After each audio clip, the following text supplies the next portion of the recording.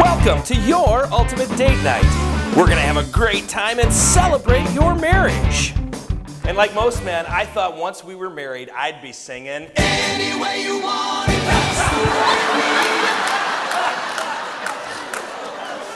I'd come home early from work for a little.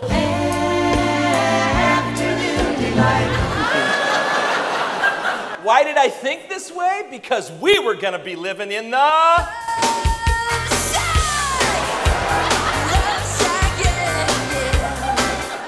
Oh my goodness. Unfortunately, my lack of decorum often had me singing. Are you lonesome? That was baby number one. Pretty soon we were singing.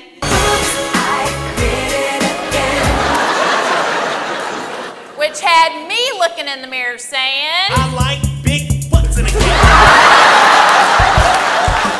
Join us for a fantastic night of ministry, music, and comedy. Learn to connect, communicate, and share with your spouse like never before. And ladies, this is the marriage event even your husband will love. I promise. I haven't laughed so hard in quite a while. That was it was great to get out and laugh. Our socks have been blessed off. A lot of laughing. I mean, the interaction was really good. It really kept us involved and engaged. Dancing cheek to cheek. Dancing cheek to cheek was wonderful. Awesome show. Laugh together, Dance together. communicate with each other. Celebrate your marriage. This is your ultimate date night.